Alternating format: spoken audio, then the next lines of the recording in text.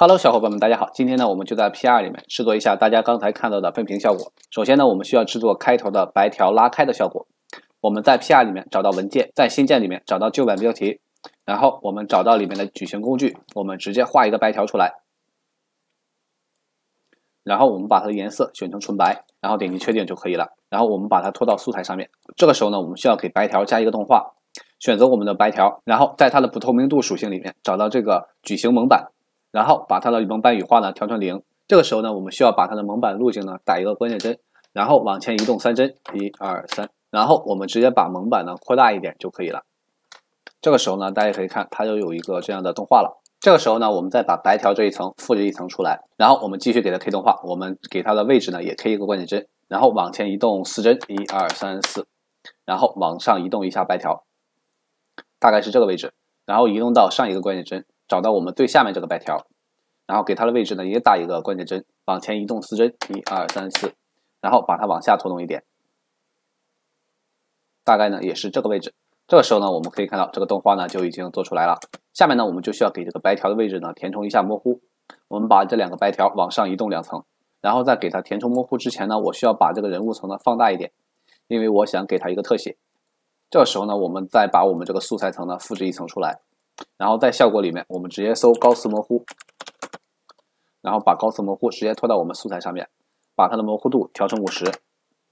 然后再搜裁剪，然后把裁剪直接拖过来，然后找到它的顶部，把这个数值呢改成五十，然后我们再把这个素材呢再复制一层出来，把它的顶部改成零，把它的底部呢改成五十。这个时候呢，为了方便操作，我们需要把刚复制出来的这个高斯模糊层呢给它隐藏掉。按键盘的 Shift 加 E 就可以，然后再选择我们的白条，找到我们白条位置的关键帧，然后选择我们的高斯模糊层。我们可以看到这个高斯模糊呢和白条的位置呢它是不对的，我们需要调整一下。直接点击呃裁剪里面的顶部，我们可以看到它有一条蓝线，我们直接拖动这个蓝线就可以。然后我们给这个顶部呢 K 一个关键帧，往前移动四帧，一二三四，然后再把我们的高斯模糊呢移动下来，这个时候呢它就会有这样一个关键帧了。现在呢，我们需要把上面这个高速模糊层呢给它显示出来，还是按键盘的 Shift 加 E，然后用同样的方法制作一下上面这个高斯模糊的动画。这里呢，时间关系呢，我就直接跳过。好，这个呢就是我制作完成的样子，大家可以看一下效果。这样呢，它就有一个这样拉开的效果了。然后呢，我们还是需要给我们这个白条呢继续 K 一个关键帧，我们往前大概移动几帧的位置，然后选择我们这个白第一个白条，然后给它的位置呢打一个关键帧，然后再往前移动四帧，一二三四。然后把我们白条呢直接拖出去，给它拖出去之后呢，我们放大一下这个属性，然后把时间呢移到上一个关键帧，选择我们最上面这个高斯模糊层，给它裁剪属性中的底部呢也是打一个关键帧，然后往前移动四帧，一二三四，然后把蓝线直接拖出去就可以了。这个时候呢，我们慢放一下，大家可以看到它呢就有一个这样的擦除效果。下面这个白条呢也是同样的操作方法。现在呢，大家可以看到它的效果呢还是蛮不错的。但是呢，我想这个让这个白条全部出去之前呢，人物有一个缩小的动画。这个时候呢，我们选择一开始这个素材层，然后找到它要变化的位置，然后给它的位置和缩放打一个关键帧，然后往前移动三帧，一二三，然后直接点击重置参数就可以。这个时候呢，我们再看一下，现在呢，大家可以看到它的效果呢就非常好了。我们把后面不需要的图层呢直接裁剪掉，然后把底下这个拉长。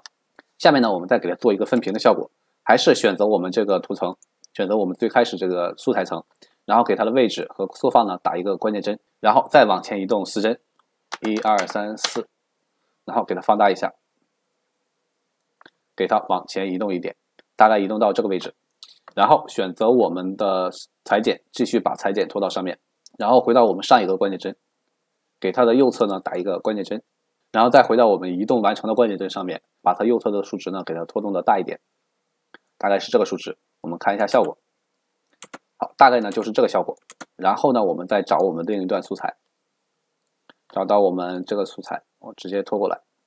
我们可以给它放的大一点。然后还是找到效果里面的裁剪，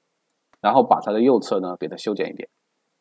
大概是这样。然后调整一下它的位置。好，我们把它调整完成之后呢，选择我们最开始的素材，因为我们需要找到它的位置关键帧。我们把时间线移动到位置关键帧的上面，然后找到我们这个吹笛子的图层。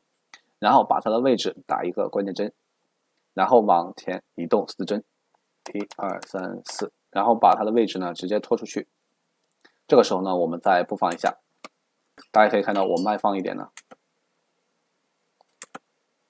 好，这个时候呢，大家可以看到它就有一个这样的运动分屏的效果了。然后呢，我们还有一个从中间开始分屏的效果。这个地方呢，我们还是用同样的方法，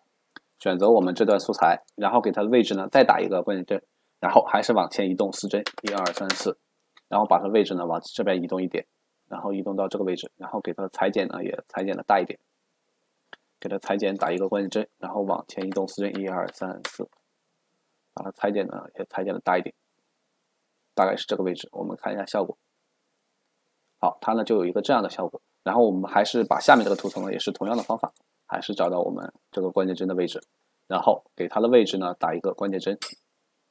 往前移动四帧，一二三四，然后把它呢也往这边呢拖一点，然后再回到上一个关键帧的位置，给它裁剪的左侧呢再打一个关键帧，然后移动四帧，一二三四，然后把它的裁剪属性呢也框的大一点。好，大概呢是这个效果，拉开效果了。然后呢，我们再找到我们的另一段素材，直接把我们素材先拖上面来，然后还是把效果里面的裁剪效果直接拖到上面来，然后把它的右侧呢给它扩的大一点，只留下我们这一个人物就可以。嗯，它是在这个时候是变化完成的。我们移动一下它的位置，把它的左侧呢也裁剪一点点，把它的右侧呢也裁剪一点，然后呢给它的。左侧和右侧呢，都给它打一个关键帧，我们也是这样耐心的调整一下。然后我们往前移动四帧的样子，一二三四。然后呢，我们再把右侧这个关键帧呢给它拖得大一点，大概是这个位置。然后把左侧的关键帧呢也给它拖得大一点，让我们这个人物呢不显示出来。这个时候呢，我们再拖动一下时间滑块呢，它就有一个这样的效果了。好，这个效果呢就已经非常不错了。然后下面我的视频中呢还有一个上下分屏的效果，我们还是找一段素材，只要它的视频，然后我们再找一段素材。大概是这段吧，我们直接拖上面来，然后在效果里面还是直接找到裁剪，我们裁剪一下它的顶部，然后裁剪一下它的底部，然后把它的位置呢拖动一下，然后是上面这个，我们把它往上移动一点，